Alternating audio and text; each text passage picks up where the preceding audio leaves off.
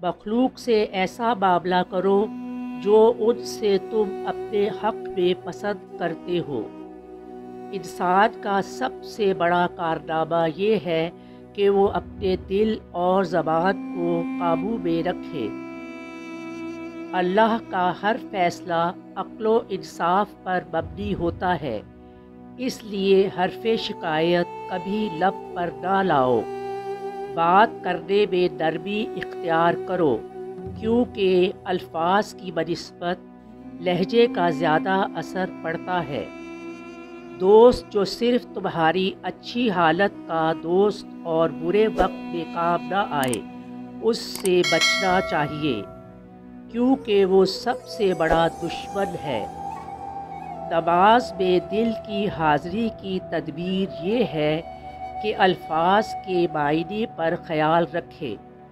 जो शख्स लोगों से बकसरत मिलता है, वो उनकी नज़रों में हकीर हो जाता है और लोग उसको कबीदगी और गफलत में अपने बराबर जानते हैं। मेरे रब की मोहब्बत का अंदाज भी निराला है। सब कुछ देख कर भी कहते हैं, है कोई मांगने वाला? सबर की करवाहट इल्म की मिठास और अमल की सख्ती वो दवा है जिससे दिल की हर बीमारी का इलाज हो सकता है।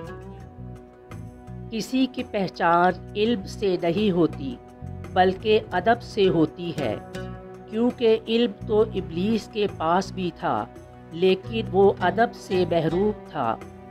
ख्वाहिश पर गालिब आना फरिश्तों की सिफत है और ख्वाहिश से मगलूब हो जाना जानवरों की।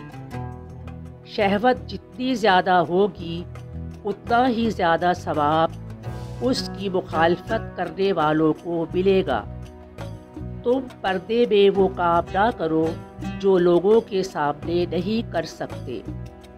अगर हमसे गलती हो जाए तो इबलीस की तरह दलेर नहीं होना चाहिए।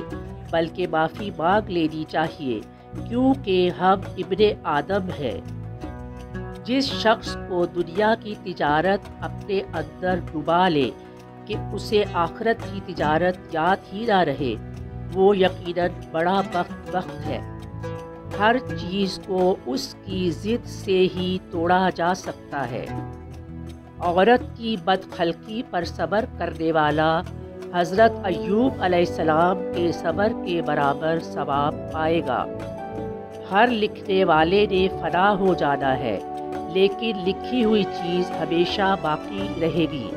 तो तू अपने हाथ से ऐसी चीज़ तहरीर कर जा, जिसको क़यामत के दिन तू देख कर खुश हो जाए। शुरू करना तेरा काम है और इसे मुकम्मल करना खुदा का काम है। लोग तुम्हारी राह में हमेशा पत्थर फेंकेंगे। अब ये तुम पर है कि तुम इन पत्थरों से क्या बनाते हो? मुश्किलात की दीवार या कामयाबी का पुल? मंजिलें सिपाहियों का इस्तकबाल करती है। बुजदिलों को रास्ते का खौफ मार देता है। तीन खूबियाँ इंसान को बाकमाल बना देती है। नंबर एक ठंडा दिमाग नंबर दो मीठी जबान नंबर तीन नरम दिल।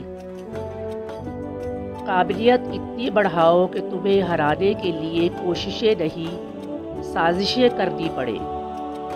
ख्वाब जिनके ऊँचे और मस्त होते हैं, इम्तहान भी उनके ज़बरदस्त होते हैं। कामयाब लोग अपने फ़ैसलों से दुनिया बदल देते हैं। और कमज़ोर लोग दुनिया के डर से अपने फ़ैसले बदल देते हैं। मेहनत इतनी खामोशी से करो कि तुम्हारी कामयाबी शोर बचा दे।